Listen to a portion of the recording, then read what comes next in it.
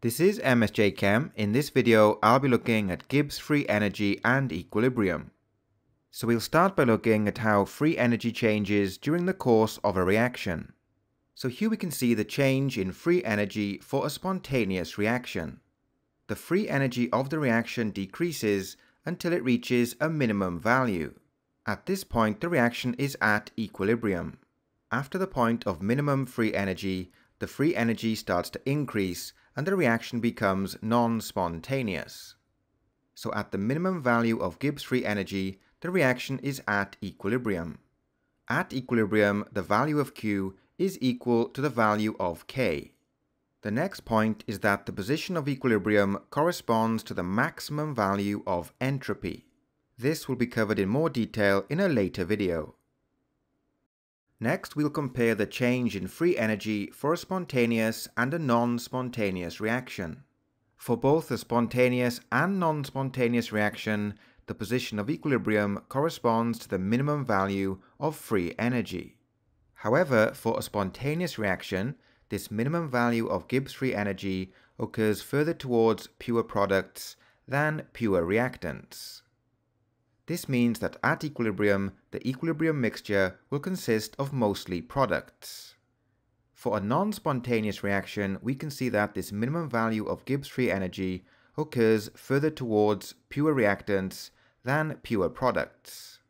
Therefore, for a non-spontaneous reaction, the equilibrium mixture will consist of mostly reactants. Note that in both types of reaction, the equilibrium position corresponds to the minimum value of Gibbs free energy and the maximum value for the entropy. Next, we look at how to calculate the standard Gibbs free energy change when given the value of the equilibrium constant K. The standard Gibbs free energy change is the change in Gibbs free energy measured under standard conditions. R is the universal gas constant, T the temperature in Kelvin, and lnk is the natural log of k. Note that this equation can be rearranged to find the value of the equilibrium constant k, which is equal to E to the negative standard Gibbs free energy change divided by the universal gas constant multiplied by the temperature in Kelvin. So next we look at an example. Calculate the value of the standard Gibbs free energy change at 298 Kelvin for the following reaction given that the equilibrium constant K has a value of 5.8 times 10 to the 5. The reaction in question is the Haber process in which nitrogen and hydrogen react together to form ammonia. So next we plug the values into the equation. So we have 8.31 which is the value of the universal gas constant, the temperature in Kelvin, and the natural log of the equilibrium constant K. Note that this gives us the standard Gibbs free energy change in joules per mole. If we divide by 1000, we get a value of negative 32.9 kilojoules per mole. The negative sign tells us that the reaction is spontaneous under standard conditions. Next, we look at the relationship between the standard Gibbs free energy change and the equilibrium constant K. So if the standard Gibbs free energy change is negative, the equilibrium constant is greater than 1. This means that the position of equilibrium lies to the right, favoring the products. If the standard Gibbs free energy change is positive, the value of the equilibrium constant K is less than 1. This means that the position of equilibrium lies to the left, favoring the reactants. And if the standard Gibbs free energy change is equal to 0, the value of the equilibrium constant K is equal to 1. So at equilibrium, neither the reactants nor products are favored. Next we look at why the standard Gibbs free energy change is zero when the value of the equilibrium constant K is equal to 1. So in this equation, we take the natural log of the equilibrium constant K. The natural log of 1 is equal to 0.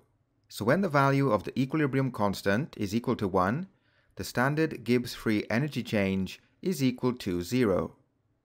Previously, we used this equation to calculate the standard Gibbs free energy change for reaction at equilibrium.